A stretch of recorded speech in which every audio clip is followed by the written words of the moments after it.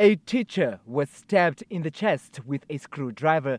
He was taken to the hospital and he is said to be in a stable condition. The head of department at the school, Rachel Dedik, told NBC News that the teacher had slapped a learner as a form of discipline yesterday, who then informed his father. She said during the staff members' daily meeting this morning, the grade 9 teacher did not attend. The HOD says the next thing that happened was a learner who barged into the meeting screaming. And then one learner came screaming in the staff room, telling the teachers that uh, one man stabbed Mr. Kalola. Then that's where now we ran out of the staff room and see where the commotion was.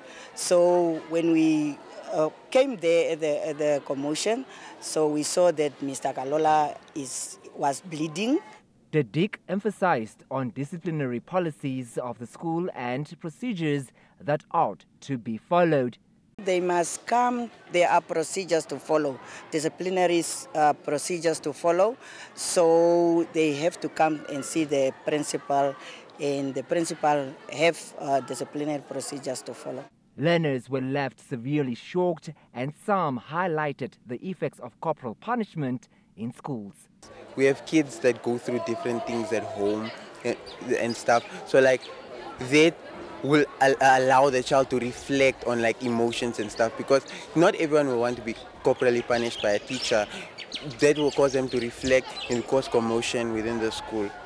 Initially first go to the office and inform the teacher or my registered teacher of what happened, what had happened. And I'll obviously tell my parents.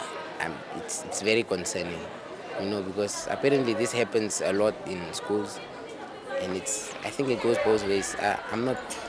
I think both teachers and uh, the police, because the police said apparently um, the teachers have to know their limits because apparently the teacher slapped the child, and that is what caused the parent to react like that.